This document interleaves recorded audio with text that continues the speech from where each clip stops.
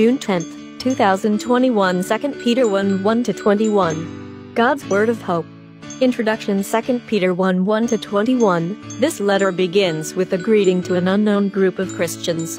They are told to live in a way that pleases God, improving their faith by cultivating goodness, knowledge, self control, endurance, and godliness. Today's scripture 2 Peter 1 3 God's divine power has given us everything we need to live a truly religious life through our knowledge of the one who called us to share in his own glory and goodness. Today's reading 1 from Simon Peter, a servant and apostle of Jesus Christ, to those who through the righteousness of our God and Savior Jesus Christ have been given a faith as precious as ours.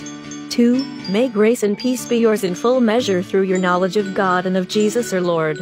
God's call and choice 3. God's divine power has given us everything we need to live a truly religious life through our knowledge of the one who called us to share in his own glory and goodness for, In this way he has given us the very great and precious gifts he promised, so that by means of these gifts you may escape from the destructive lust that is in the world, and may come to share the divine nature 5. For this very reason do your best to add goodness to your faith, to your goodness add knowledge. 6. To your knowledge add self-control, to your self-control add endurance, to your endurance add godliness. 7. To your godliness add Christian affection, and to your Christian affection add love 8. These are the qualities you need, and if you have them in abundance, they will make you active and effective in your knowledge of our Lord Jesus Christ 9. But if you do not have them, you are so short-sighted that you cannot see and have forgotten that you have been purified from your past sins.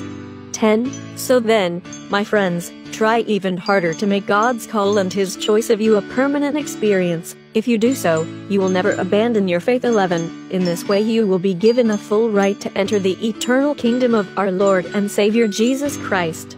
12 and so I will always remind you of these matters, even though you already know them and are firmly grounded in the truth you have received 13. I think it only right for me to stir up your memory of these matters as long as I am still alive 14. I know that I shall soon put off this mortal body, as our Lord Jesus Christ plainly told me 15. I will do my best, then, to provide a way for you to remember these matters at all times after my death. Eyewitnesses of Christ's glory. 16. We have not depended on made-up stories in making known to you the mighty coming of our Lord Jesus Christ. With our own eyes we saw his greatness 17. We were there when he was given honor and glory by God the Father, when the voice came to him from the supreme glory, saying, This is my own dear Son, with whom I am pleased. 18. We ourselves heard this voice coming from heaven, when we were with him on the holy mountain.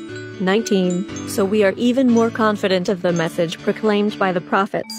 You will do well to pay attention to it, because it is like a lamp shining in a dark place until the day dawns and the light of the morning star shines in your hearts 20. Above all else, however, remember that none of us can explain by ourselves a prophecy in the scriptures 21. For no prophetic message ever came just from the human will, but people were under the control of the Holy Spirit as they spoke the message that came from God. Reflect the Christian community is told that becoming one with God's nature will help Jesus' followers escape their old evil desires and the corrupt influences of the world. Here, acting in faith means doing things that show oneness with God. How can changing your behavior actually change the things you want? What spiritual disciplines, like prayer, study, fasting and attending retreats, might help you in experiencing oneness with God? Tomorrow's reading 2 Peter 2 1 22 Followers are warned about false teachers.